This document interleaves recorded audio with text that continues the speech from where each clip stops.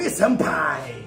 Buenos días Nakamas, soy el quinto emperador y hoy os traigo uf, un, más de un mes, más de un mes sin decir esto. Mi cuerpo y mi cerebro no están preparados. ¿Vosotros sí? ¡PIR! Nakamas, ¿por qué no me avisáis de que llevamos más de un mes sin subir un PIR? Joder, que, que yo, a ver, yo estoy a muchas cosas y se me olvida que no hay PIR y si no me avisáis, pues de repente me da por entrar al último PIR y resulta que ha pasado más de un mes sin un PIR. Pues esto no puede ser.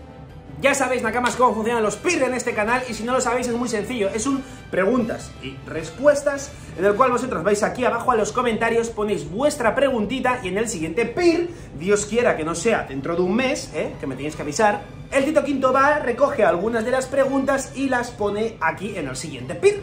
Bien, Nakamas, me ha dicho el décimo, ¿vale? Está de vacaciones, ya sabéis, junio, julio, pues el, décimo se, va de vacaciones por ahí. Me ha dicho que le haríais un favor si os suscribís al canal. Nah, ahora en serio, no me quiero enrollar mucho esta vez, ¿de acuerdo? ¿Vale? Vais, si no os importa, ahí abajo al botoncito de suscripción y el Tito Quinto, obviamente, pues os va a agradecer mucho ahora en este caluroso y doloroso verano que, que si os suscribís, pues eso, pues que, que, me hacéis un favor, coño, por favor, hacedme feliz a mí y al décimo. Bien, Nakamas, no me enrollo más y vamos directos al grano, ¿vale? Que hay mono de One Piece, que sin un mesecito de One Piece hay que, hay que cubrir las ganas de alguna forma, ¿de acuerdo? Vamos a ello, estrena nuestro querido Nakama David la siguiente, el, el, el PIR, coño, que ya no sé ni hablar, con la siguiente pregunta. Pir, ¿crees que en One Piece habrá otro periodo de tiempo como el time skip, pero mucho menos tiempo, en el cual entrenen ya que ellos mismos vean imposible ganar la batalla final contra la Marina? Saludos desde Barcelona, Quinto. Saludos, David. A ver, pues yo sinceramente la verdad que no creo que haga falta un time skip. Igual un pequeño entrenamiento para algunos de los Mugiwaras, como llevo mucho tiempo comentando, que por ejemplo Usopp, eh, cuando vayamos a Elba, si es que vamos, se podría ir un momentito, una semana, un par de semanitas, con algún gigante para que le entrenara en lo suyo, tal vez haki de observación, haki de armadura, eh, simplemente un entrenamiento mental para conseguir un poco más de valentía, algo de ese estilo sí que podría haber, pero en una isla y en un arco en el que los Mugiwaras estén activos. Es decir, no de repente se han ido dos meses a no sé qué a entrenar, eso no lo creo, porque sinceramente los Mugiwaras que se especializan en combate, es decir, Jimbe, Luffy, Zoro, eh, Sanji, tal vez ahora Yamato si finalmente se une, esos ya están preparadísimos para lo que les viene delante. Entonces, que haya un pequeño entrenamiento para algunos de los Mugiwaras sí que podría ser, pero no a modo de time skip ni nada del estilo. Y es que de hecho ahora mismo no creo que la situación esté preparándose para poder permitirnos un time skip. Es decir, eh, los revolucionarios ya han liado algo, Sabo ya le ha pasado algo o ya ha hecho algo, dos Yonkou ya han sido derrotados, o sea, no es como cuando pasó el time skip de verdad, que realmente hubo un cambio de generación, pero que pasó de un Yonkou como Shirohige a otros como Big Mom, eh, Kaido, Kurohige y tal, Ahora eso no es así, o sea, la estructura que regía el mundo desde hace 20 años, como Son Kaido y Big Mom, entre otros, han sido derrotados, Luffy ya ha sido nombrado un emperador, eh, hay muchas cosas que hacen que ya no haya una vuelta atrás ni tiempo para parar las cositas, o sea, los resultados del revere ya se han dado, Kurohige está moviéndose, eh, muchas cosas que sinceramente me hacen pensar que, que no puede haber un time skip ahora. Álvaro hace la siguiente pregunta. ¿Crees que Shanks sea el personaje vivo más fuerte de la serie actualmente? Como bien dices, Big Mom y Kaido llevan décadas como Yonko, mientras que él casi iguala sus recompensas llevando solo 6 años en el puesto. Eh, a ver, es que eso es muy complicado por un lado porque no conocemos eh, ni el poder real de Shanks ni el de Kurohige. ¿Vale? Y no sabemos cuánto de lejos de ellos está Luffy actualmente con el Gear 5, habiendo derrotado a Kaido. Es verdad que con un Kaido ya desgastado antes del combate con Luffy, por eso Luffy no está igual de fuerte que Kaido. Son muchas cosas. Eh, y aparte de eso, también tenemos luego el, el hecho de si Im, por ejemplo, o el Gorosei son personajes de acción, es decir, de combate, o personajes meramente políticos que no van a entrar en un combate como tal eh, Monkey D. Dragon no sabemos si tiene la fuerza de un Yonkou más o menos. Hay mucho personaje a día de hoy todavía pendiente de descubrir su verdadero poder y, sería muy pronto para decir que Shanks lo es. En lo personal, no creo que Shanks sea el más fuerte actualmente, sí de los que mejor prestigio y, y fuerza tienen, obviamente, pero el más fuerte me costaría decirlo porque ya sabéis que yo soy muy partidario de que Kurohige mate a Shanks y eso, bueno, no necesariamente hace a Kurohige más fuerte, pero sí que da papeletas a ello. Pir, la habitación donde estás grabando es tu Nakama cuarto. ¿Algún día nos presentarás a su Clavauterman? Eh, a ver, independientemente de la fumada que te acabas de pegar, compañero, este cuarto es la habitación del quinto filósofo. ¿Vale? Lo que pasa es que, bueno, pues como no es canónico y tal, pues eh, se la robo y no pasa absolutamente nada. Entiendo, Quinto, tu afán por intentar desmotivarme con el hecho de que no soy canónico, ni nunca acabaré siéndolo, ni nada del estilo, pero recuerda de, de, qué fan, de qué somos fans, de qué serie somos fans, tanto tus nakamas como tú y como yo. Somos fans de una serie que gira en torno a la piratería, a la libertad de ser un pirata. Y esa pequeña contradicción que surge entre la libertad que tiene un pirata y que posiblemente un pirata sea la persona más agarrada a un destino fatídico. Aún así, a pesar de esa contradicción, que se podría llevar sin ningún problema a una metáfora con mi canonidad y no canonidad, voy a quedarme con la parte de la libertad, voy a seguir peleando para que llegues a esos 200.000 suscriptores porque me lo prometiste. Me prometiste que el día que tengas 200.000 yo seré canon. No pienso pensar en el destino fatídico que pueda guardarnos como piratas, ni mucho menos, puesto que la magia de un pirata no rige en el destino, sino en la libertad para poder llegar a él.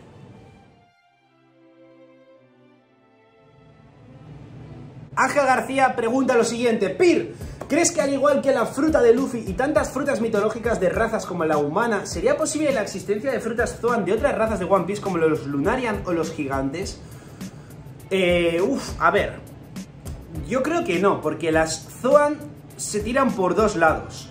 O por un lado, por los animales puros, es decir, un perro, una vaca, un caballo, un lo que sea, y por otro lado, bueno, las prehistóricas, que lo podríamos considerar animales prehistóricos simplemente, y por otro lado, mitológicas, pero no de razas, sino mitológicas de un dragón, de un fénix, de un zorro de nueve colas, del dios Nika, es decir, mitológicas de deidades que en principio no tendrían por qué existir o existieron en algún momento, pero ya. Pero no hay como tal Zoan de razas, es decir, no hay una Zoan de un gigante, una Zoan de un enano, una Zoan de un lunaria, como tú dices, de un cuatro, de un cuatro codos, de un piernas largas. Nadie come una Zoan y, se le, y puede volverse eh, un piernas largas. Entonces, eh, dentro de las razas no creo que haya. Obviamente, a ver, es el mundo de Oda, es un mundo súper abierto y si se le pone en su santo punto del, en su punta del pito, básicamente, pues sí, pues puede hacerlo. Que de repente te comas una fruta y seas un cuatro codos, pues podría. Pero en principio, si no se ha mostrado hasta ahora, dudo que se vea. ¿Crees que si Luffy al convertirse en el rey de los piratas dejen de existir las frutas del diablo? James hace la siguiente. Pir, ¿cuál crees que ha sido la pelea más decepcionante de Wano? ¿Y la más inesperada? Bueno, respecto a la más decepcionante, eh, iba a comentar tal vez la de Usopp y Nami contra Ultimate One, porque no han llegado a ser ellos los que derroten a, a los Tobiropo, pero creo que ha habido una de la que esperaba mucho más. Y esa es la de Frankie contra Sasaki. Al final Frankie sabemos que su estilo de combate siempre se basa en el cuerpo a cuerpo y a ver quién es más bestia y quién es más duro y más cabezote y más resistente. O sea, una pelea literalmente cuerpo a cuerpo, como la que se vio por ejemplo contra el señor Pink, la cual me parece hasta la fecha la mejor de Frankie sin ninguna duda. No solamente por el trasfondo que tenía la pelea, ¿no? Del tema del pasado del señor Pink y demás, que se vio como un duelo muy bonito más allá de los golpes, sino porque también hubo muchos golpes, mucha variedad. Frankie hacía un suplex, eh, Frankie metía puños, Frankie recibía hostias, y sin embargo la de Sasaki fue como más... Eh, vamos a demostrar que Frankie es más fuerte y ya está, ¿no? O sea, le viene Frankie, le hace el Heliceratops, Frankie consigue pararlo, le mete un V-Flash, eh, luego le, vale, luego le hace un Radical Beam de estos que es con el que le gana, vale pero no hay un desarrollo de combate. Eh, estamos hablando de un Tobiropo, que es el grado inferior a una calamidad. Deberían tener mínimo los dos tipos de hakis. De hecho, Sasaki creo que utiliza haki, mientras que Frankie no desarrolla haki de armadura. O sea, el tío que más se caracteriza por una pelea cuerpo a cuerpo de los Mugiwaras y sigue sin desarrollar haki de armadura. Yo me esperaba que en este combate consiguiera sacarlo, porque es que ha peleado contra el tío más duro en principio de todos los tobiropos y encima con haki de armadura. Pues debería haberlo sacado. Y a mí, que no lo sacara me decepcionó. Y aparte, lo que es el desarrollo del combate, tampoco me pareció especialmente completo. Ha tenido mejores. Pero bueno, a nivel general, con todos los Tobiropo, Oda no ha querido desarrollarlo mucho. Y la pelea más inesperada, yo diría que, que, fue un poco, un poco dos. Son, son dos, ¿vale? Una es puramente Yamato contra Kaido. Yo creo que en ningún momento me esperaba que Yamato fuera a subir a la azotea para retener a Kaido mientras Luffy y Momonosuke subían. Eso a mí me sorprendió mucho. Y por otro lado, eh, por otro lado, Raizo versus Fukurokuyu era de esperar el combate, pero no ese combate. Terminator hace la siguiente pregunta. ¿Cómo crees que reaccionaría todo el mundo si Sabo fuera ejecutado? Saludos desde España. Saludos Nakama. A ver, si Sabo fuera ejecutado, al final Sabo es un personaje que pertenece a una entidad, a una organización como es la Armada Revolucionaria, la cual, eh, por un lado, los países hay diferentes formas de pensar de países. Muchos estarán a favor de lo que hacen y esa gente se preocuparía mucho. Y por otro lado habrá países pues que son tal vez más fieles a la nobleza que hay en ese país y demás y tal vez lo ven como más como malos a los revolucionarios. Entonces esos pues se alegrarían o simplemente les resultaría irrelevante. Y luego cara a, a cómo se revolucionaría el mundo, ¿no? Nunca mejor dicho estaríamos hablando de que la Armada Revolucionaria ha perdido a su segundo miembro al mando. Entonces, obviamente, daría una mala imagen a la Armada Revolucionaria, ¿no? Un poco como imagen tal vez de que se están debilitando o de que no son tan fuertes como aparentaban. Sin embargo, no creo que haya habido una ejecución de Sabo. Tal vez un anuncio de ejecución puede ser. Que ya se haya ejecutado, no, ni de coña. Eloy hace la siguiente pregunta. Pir, ¿cuál ha sido el momento de la serie en el que más te has reído? Pues a ver, esto es difícil porque como tal no recuerdo un momento concreto en el que me descojonara a mega carcajadas de estar 5 minutos sin poder parar. O sea, de esa sensación pocas veces o creo que ninguna he tenido con One Piece. Sin embargo, lo que sí que he tenido son muchísimos, pero muchísimos momentos de micro risas. Es decir, una tontería que te hace reír durante 10, 15, 20 segundos y luego ya poco a poco se te va quitando la sonrisa pues porque sigue la trama, ¿no? Eh, un par que recuerde muy fuertemente son, por un lado, eh, cuando están en la azotea los tres supernovas principales y juegan al juego de intentar no esquivar el ataque de Big Mom, que ponen las caras típicas estas, a mí eso me mató.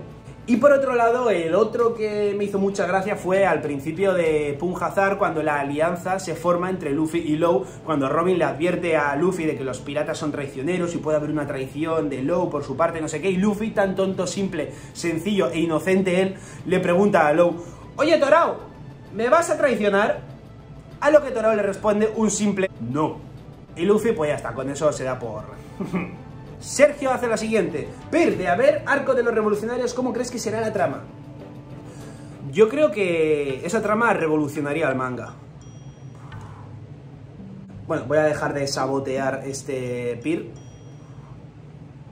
Pido disculpas, yo, Ivankov, intención de no hacer estos chistes tan malos, pero joder. De verdad que lo siento, pero yo esto no sé cómo se puede parar la que he dejado armada en un momento. bueno, ya para que me esté dando un asco increíble. No creo que vaya a haber un arco exclusivo de los revolucionarios en plan arco de Kamabaka, ¿sabes? Que es donde están ahora la base de los revolucionarios. No creo que vaya a haber algo así.